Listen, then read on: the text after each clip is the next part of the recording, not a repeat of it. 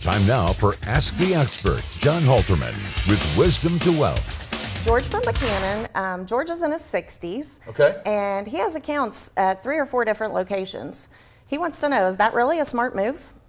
Ooh, George, you know what? I get it. A lot of times when people are in the accumulation phase, you know, they're thinking, hey, look, I'm going to be smart money by having three or four different advisors, three or four different ideas, and everything like that. Uh, the stakes aren't as high when you're in an accumulation phase simply because you're putting more money in and you have time on your side because you're not taking anything out. But I got to tell you, as you get older, and now you got to be concerned about okay, where's my retirement income going to come from? How am I going to have an income strategy that I can outlive, but also at the same time, how am I going to make sure that I offset growth and do wealth transfer in the most tax advantageous way?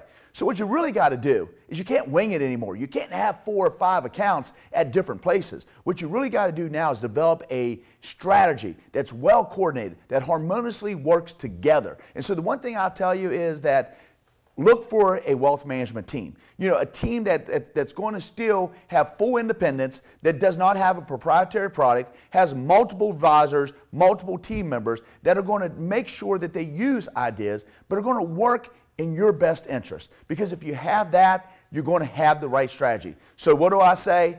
Definitely, definitely talk to somebody because it's time now to get everything in order because you're at that point where you're in the retirement red zone and you do not have really a lot of room for big margins of error. For more answers, call or visit our website today.